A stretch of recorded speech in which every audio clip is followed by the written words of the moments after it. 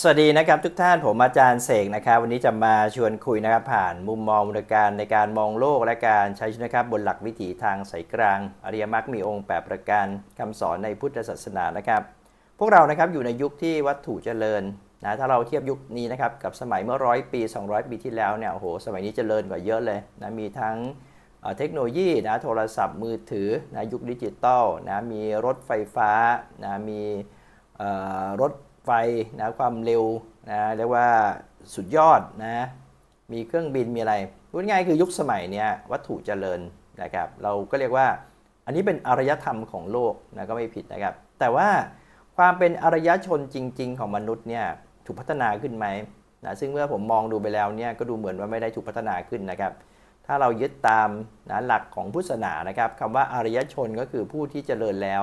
เจริญด้านไหนครับไม่ใช่วัตถุสิ่งของอย่างเดียวนะ ต้องเจริญทางด้านจิตใจด้วย ความมีศีลมีธรรมนะความมีฮิริโอตปะนะมีความระอายเกรงกลัวต่อบาปกรรมนะครับความที่มีจิตเมตตากรุณานะเห็นแก่ผู้อื่นนะเห็นแก่ผู้ที่ด้อยโอกาสต่างๆเนี่ยแต่ว่าโลกยุคสมัยเนี่ยที่มีความเจริญก้าวหน้าทางวัตถุสิ่งของนะซึ่งเราเรียกว่ามีอารยธรรมก็แล้วแต่เนี่ยแต่จริงๆแล้วเนี่ยมันเป็นอารยธรรมเป็นอารยชนแค่เปลือก แต่เนื้อในดูเหมือนว่าไม่ได้เปลี่ยนแปลงไป จากเมื่อร้อยสองร้อยปี500ปีพันปีที่แล้ว หรือย้อนไปในครั้งพุทธกาลด้วยซ้ำไปนะความเป็นปุถุชนของคนในโลกใบนี้ก็ยังคงเหมือนเดิมนะถ้าเกิดไม่ได้ถูกอบรมขัดเกลานะครับ ตามหลักคำสอนในพุทธศาสนา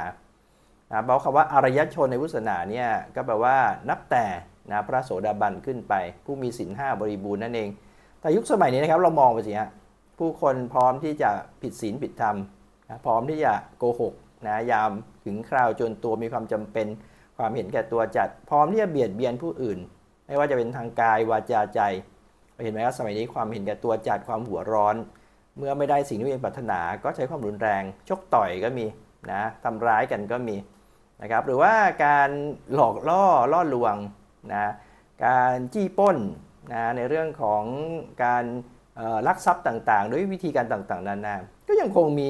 ไม่ได้แตกต่างนะจากนะสมัยโบรโบราณนะครับเพราะฉะนั้นถือบอกยุคสมัยนี้นะเราเรียกว่าเราอยู่ในยุคของอารยธรรมนะมันความเป็นอารยธรรมเนี่ยนะความที่เป็นเรียกว่าอารยชนนะของคนในโลกเนี่ยมันเป็นแค่เปลือกพูดง่ายคือถ้ารับหลังยังทำชั่วอยู่เงี้ยอันนี้ไม่ใช่อารยชนที่แท้จริง อารยชนแท้จริงเนี่ยมันต้องเป็นเนื้อในที่จิตนะครับแปลว่านับตั้งแต่นะพระโสดาบันขึ้นไปนั่นแหละเป็นอารยชน นะคำว่าอารยชนหรืออารยชนเนี่ยแปลว่าผู้เจริญ มีจิตเจริญแล้ว มีจิตที่อยู่ในศีลในธรรมนะแม้ต่อหน้ารับหลังก็ไม่ทำความชั่วความร้ายนะครับแต่ยุคสมัยนี้นะหลังคีย์บอร์ด หลายคนนี่ก็แปลงกายจำแรงกายนะไปเป็นมารไปเป็นความชั่วร้ายก็มี แต่หน้าฉากอาจจะเป็นคนดีนะไม่พูดร้ายใส่ใครแต่หลังฉากนี่นะครับแปลงร่างทันทีเลยนะอวตารนะกลายไปเป็น